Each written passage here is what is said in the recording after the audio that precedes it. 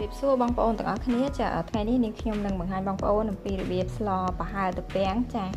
ហើយនេះត្រពាំងគឺយើងបានចិតរួចអស់ហើយចាមានចំនួន3ខាំចាហើយនេះគឺជាអង្ករសម្រាប់យើងដាក់បង្ងាស់ជាមួយនឹងត្រពាំងចាយើងដាក់មកក្តាប់មកហើយបន្លែភាសាមានដូចជាស្លឹកងប់ស្អំបន្លែផ្អែមហើយនេះស្លឹកម្ទេស ហើយមានលនងចំនួន1មានម្ទេសហើយមានខ្ចៅនេះខ្ញុំចាក់រួចហើយហើយស្លប្រហើរហ្នឹងគឺខ្ញុំនាងខ្ញុំស្លជាមួយនឹងត្រីពោចាហើយមានប៊ីចេងអំបិលហើយនឹងស្ករចាហើយនេះទឹកចាជាដំបូងគឺយើងដាក់ដាក់អង្ករហ្នឹងគឺយើងច្របាច់ជាមួយនឹងត្រពាំងច្របាច់ជាមួយនឹងត្រពាំងអញ្ចឹងមក ដើម្បីឲ្យចេញជាតិម្សៅដូចហើយយើងយកវាហ្នឹងទៅបង្ងាស់ចាបន្តមកគឺយើងចាក់ទឹកចាក់ទឹកនឹងចូលទៅចារួចហើយគឺយើងហើយហ្នឹងហើយឥឡូវនេះគឺយើងយកមកដាក់លើឆ្នាំងមកលើចក្រានមករួចហើយយើងបើកភ្លើង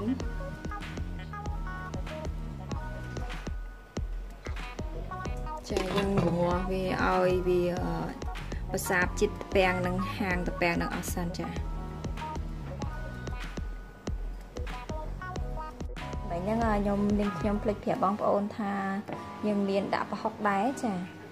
ស្លបហើយដាក់ប្រហុកគឺបានឆ្ងាញ់ចាមិញនាងខ្ញុំភ្លេចប្រាប់បងប្អូន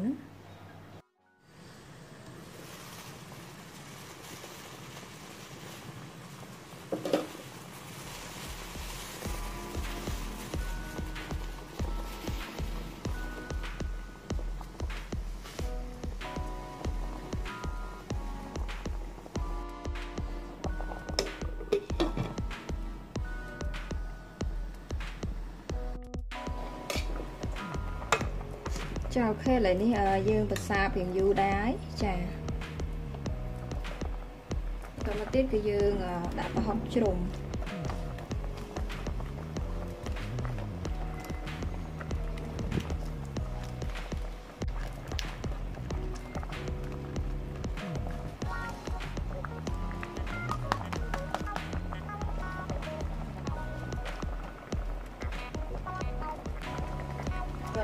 ដាក់ផឹករួចហើយគឺយើងដាក់អំបិលចូល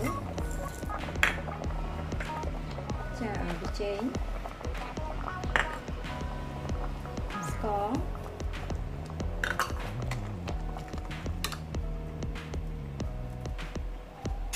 ចារួចហើយគឺយើងដាក់ត្រីពោចូល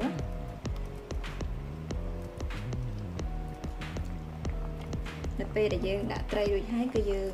អត់តន់កូរវាទេ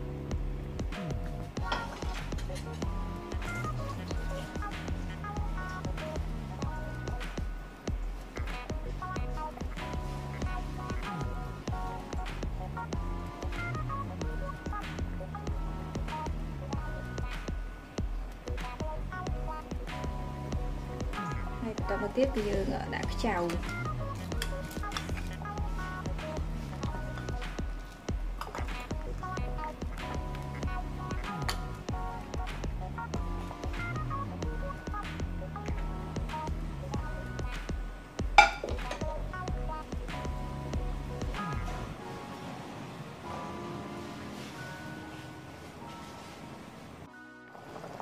ចាបន្តមកទៀតគឺយើងដាក់នំចូល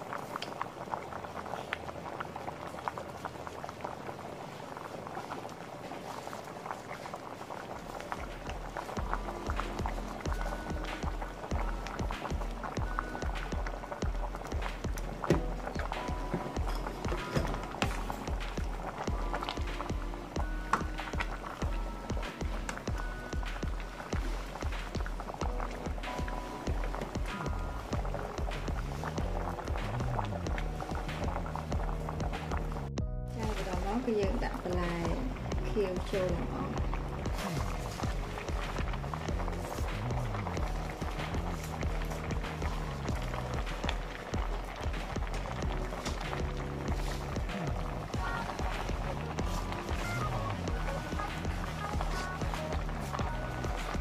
ទាំងស្លឹកមុខស្លឹកបន្លែផ្អែមស្លឹកម្ទេសស្អមឯនេះគឺយើងដាក់ចូល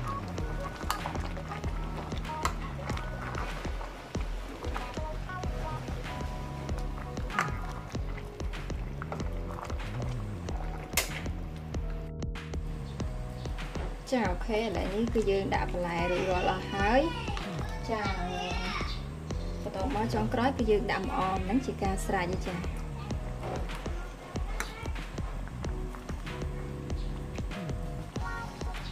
ចាឥឡូវនេះឆ្អិនហើយខ្ញុំបិទភ្លើងមក